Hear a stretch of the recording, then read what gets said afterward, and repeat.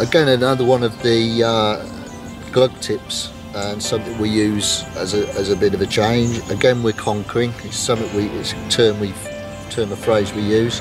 But this time what we're doing is we're actually dipping the glug hook bait into one of our natural powders. In this case it's a water fly.